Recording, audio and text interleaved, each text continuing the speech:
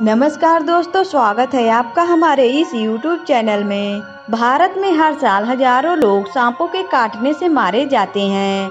हालाँकि सभी सांप विषैले नहीं होते हैं, लेकिन जिन्हें सांपों के बारे में जानकारी नहीं है, वो इन सांपों को देखते ही होश गंवा देते हैं, या फिर उन्हें मारने दौड़ पड़ते हैं। चलिए आज हम आपको बताते हैं, भारत के पाँच सांपों के बारे में।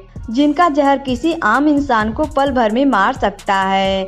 किंग कोबरा, भारत ही नहीं, दुनिया भर में किंग कोबरा को सबसे खतरनाक सांप माना जाता है। ये दूसरे सांपों से काफ़ी लंबा होता है।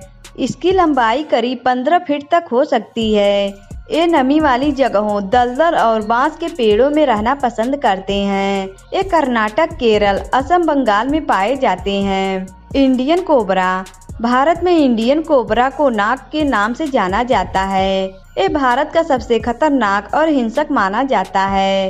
ये सांप ज़्यादातर गाँवों, जंगलों या फिर नदियों के किनारे पाया जाता है। इसके काटने से हर साल औसतन बारह हज़ार से तेरह हज़ार लोगों की मौत हो जाती है। Indian cobra, Indian krait. Bharat में इंडियन क्रेट दूसरा सबसे जहरीला सांप है। इसके डसने पर एक बार इतना जहर निकलता है। कि पाँच दर्जन लोगों की जान जा सकती है। इंडियन क्रेट की वजह से हर साल औसतन आठ हज़ार लोगों की मौत हो जाती है। Indian krait Russell viper Russell viper को भारत के गर्म राज्यों में ज़्यादा पाया जाता है। ये बेहद गुस्सैल और बिजली की रफ्तार से अटैक करने वाला सांप है। हालाँकि इसे इंडियन क्रेट से ज़्यादा जहरीला नहीं है, लेकिन हर साल बीस हज़ार को अपना शिकार बना लेता है। Russell viper, Indian green pit viper, इसे भारत में बम्पू वाइपर कहा जाता है। इंडियन ग्रीन पिट वाइपर सांप पेड़ों पर रहते हैं। वैसे तो ये मेढक दूसरे छोटे सांप कीड़े खाते हैं,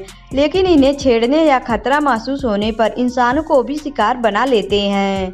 ये सांप ज़्यादातर भारत के पश्चिमी क्षेत्रों में पाए जाते हैं। दोस्तों, आज की वीडियो में बस इतना ही। अगर यह वीडियो आपको अच्छा लगा तो वीडियो को लाइक करें और हमारे चैनल को भी सब्सक्राइब करें।